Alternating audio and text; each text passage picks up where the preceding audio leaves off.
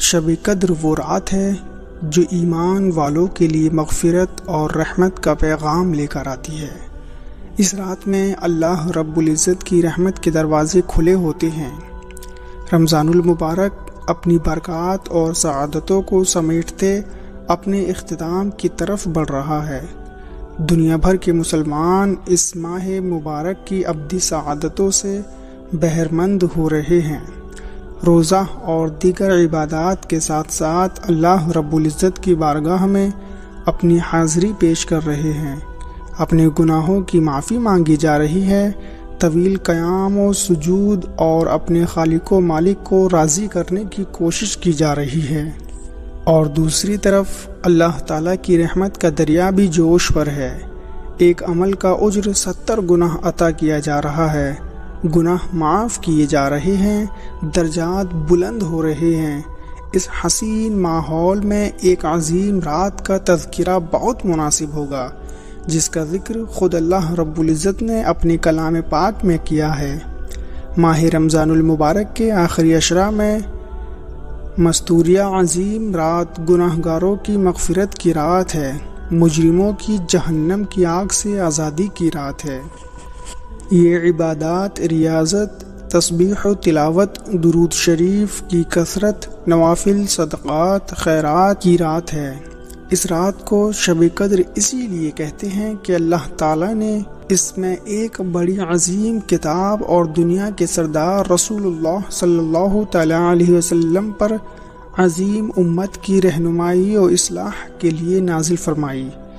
चूँकि इस शब कद्र में अमाल सालिहा कबूल होते हैं और बारगाह रब्बुल्ज़त में उनकी बहुत कद्र की जाती है, इसलिए इसको शब कद्र कहते हैं।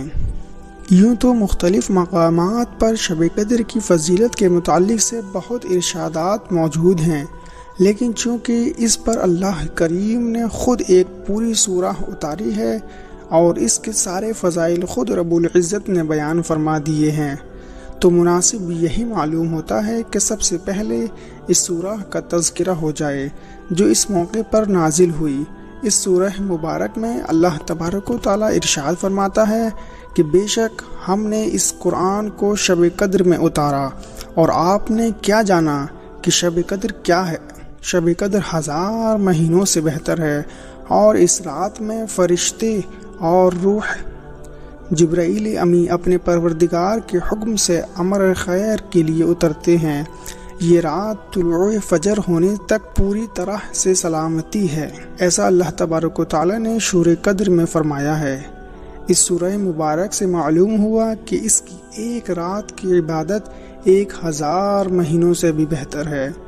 उम्मत मोहम्मदिया पर अल्लाह करीम का ये फ़ज़ल अज़ीम है कि इसमें एक ऐसी रात है जिसमें अगर आजिज़ी और लगन से इबादत की जाए तो उसका उज्र तिहत्तर साल, चार महीने की मुसलसल और बेरिया इबादत से भी ज़्यादा है। शब कद्र वो रात है जो ईमान वालों के लिए मगफ़रत और रहमत का पैगाम लेकर आती है।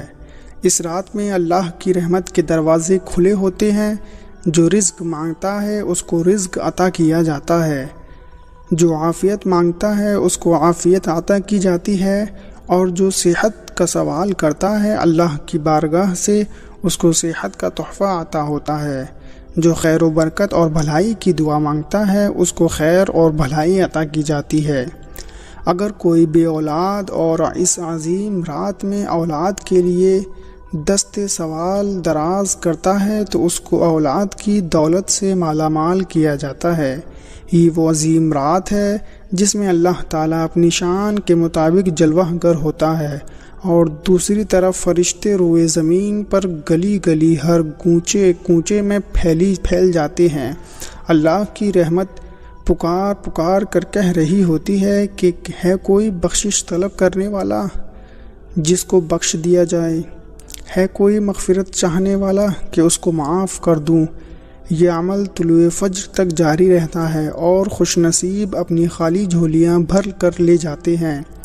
शब कदर की असल इबादत रात का क़याम यानी नमाज़ है। इस रात को जितना मुमकिन हो सके क़याम करना चाहिए। अल्लाह की बारगाह में खड़े होकर फ़र्ज़ नाफिल नवाज़ें अदा करनी चाहिए। इस रात के अंदर बंदा मोमिन को चाहिए कि वो खूब तोबा इस्तफ़ार करे, अपने सग़ीरा कबीरा गुनाहों की माफ़ी तलब करे। मैं अल्लाह तबारक व ताली से दुआ करता हूँ कि या अल्लाह, हम सबको शब कद्र की रात नसीब फरमा और हम सबको इबादत करने की तोफ़ी अता फरमा। आमीन।